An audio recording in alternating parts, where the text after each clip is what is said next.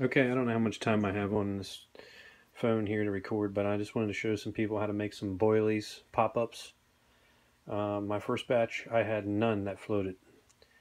I added too much different types of liquids, and I think that messed up the egg, which is what causes these things to float, along with the gluten uh, flour that you use. And you can see here, these ones are darker. They're grapes that I rolled I did some grape jello.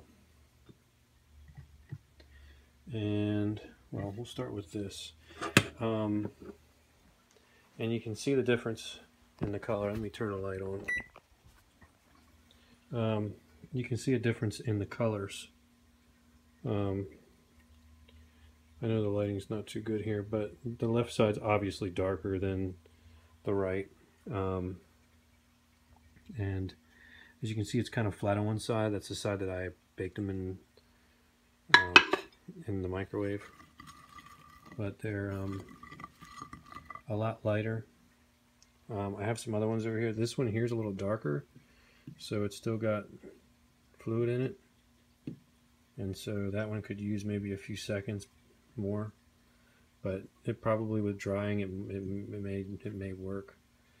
Um, you can usually tell if it's lighter, you know it's going to float. If it's got weight to it, it's going to sink.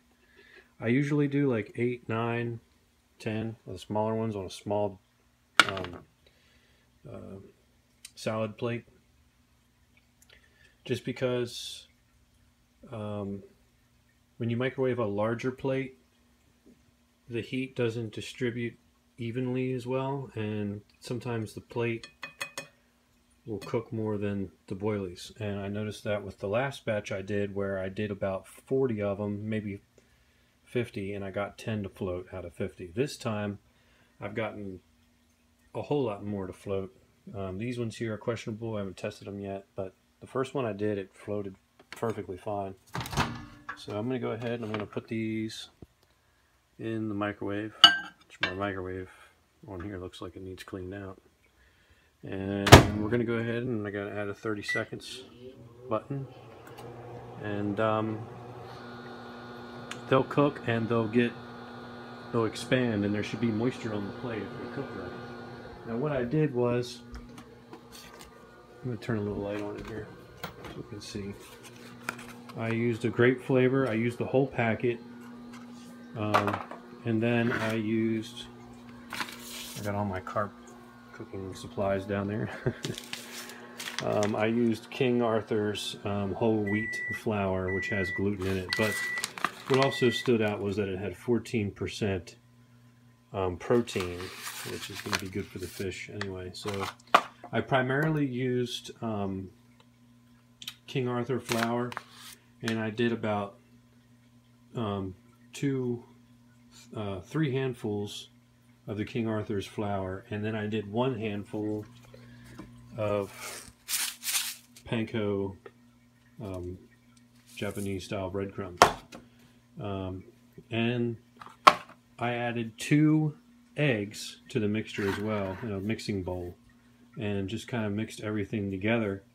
Um, the eggs that I used were not just regular normal sized eggs. I used jumbo eggs. I found that that it's better to start off a little bit more wet. You can always add more whole wheat flour because it's the gluten that helps it float and then it's also the egg that helps it float. Let's go ahead and see what we have over here and see if we've got that lighter texture. Ah yes, here we go. You can see here, they're a little squishy, a little warm. I left them in there so it's definitely, um, you can hear it. See, it sounds like bread, you know. You come over here and you can compare it to the ones I just rolled and you can see the difference.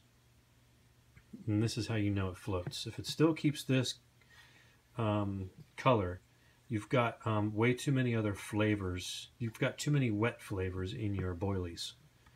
Um, you primarily just want to use the egg to get it to get it wet so that it'll stick together. Mostly where your flavor, where you want your flavors to come in is um, with the dry ingredients. That's where you want your flavors. That's why you use the jello packets.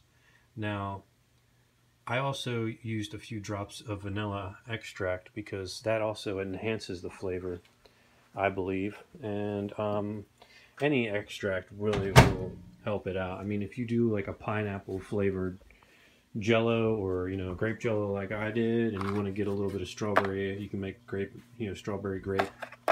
And just do, I would just do a couple of drops, you know, two or three drops, maybe four or five drops, but I wouldn't go anything past that. You don't want to like spill a bunch in there, otherwise you're going to ruin it. Um, you can also do corn oil, um, which is good if you're going to do um, you, you if you want to plasticize with your your you know your cream of corn, but do not use a lot of cream of corn, especially since you're putting two eggs in it already.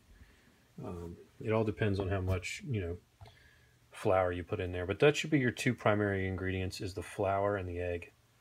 Um, and you can see here that this is really squishy. It's not sticking to my fingers that, that much. You can see it sticks a little bit. It's going to stick. I don't care what anybody tells you on YouTube about making boilies.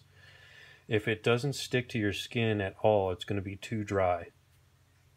It's going to stick to your skin just because you put the jello packet in there. It's got sugar in it.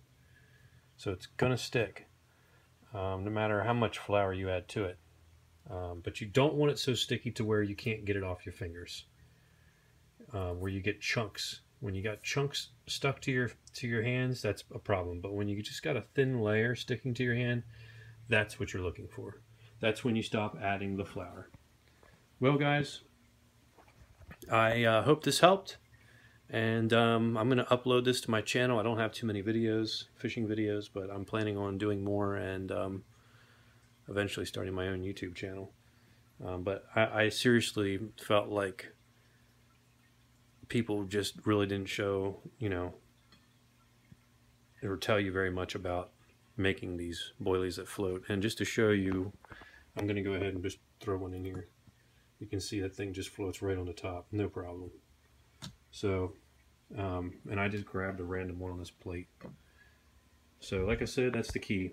Wheat, and flour and um, eggs. All right.